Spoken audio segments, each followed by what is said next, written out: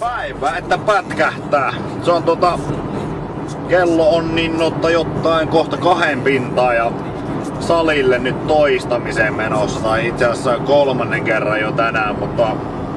Mutta, mutta siinä oli asiakkaita tuossa välissä aamu ja nyt tämän päivätreenin välissä, niin mutta tota, oma toinen treeni tulossa. Treenataan rintaa ja varmaan vähän mä luulen, että ojentajia loppuu. Ja ja, Testo Timohan se tuossa yövuorosta tuli suoraan treenaamaan tuohon aamulla ja nyt se on nukkunut muutaman tunnin ja hyppää taas ylös ja ei kun treenaamaan. Että mulla on sitten loppuilta asiakkaita täynnä, niin se oli pakko tehdä vähän tälleen aika lyhyellä, lyhyellä ajalla sitten tää, nämä treenit sitten tälleen vähän perään jälkeen, mutta ei se mitään. Mulla ainakin on ihan täysin levännyt olo aamutreenistä, että tossa kerkes syö useampaa kertaa ja kuitenkin suht lungisti ottamaan, että ei mitään sen fyysisempää hommaa siinä välissä, niin ei siinä kuule sen ihmeempiä. Painotaan salille, tehdään niin kovaa kuin lähtee.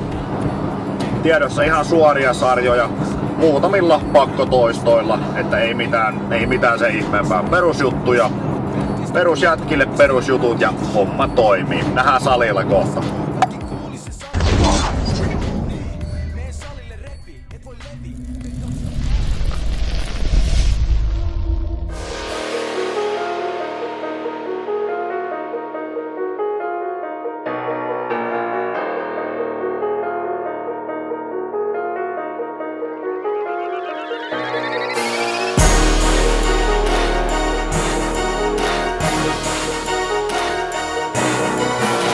Industry Ready Production. PSBeats.com. Make your purchase Now, now.